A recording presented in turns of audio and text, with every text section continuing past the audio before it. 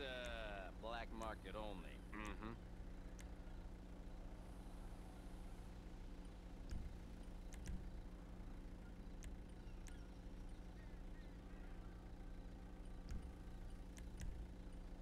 Cut prices today.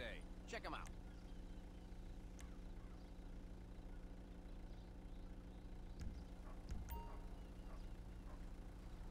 All right. Find me again soon.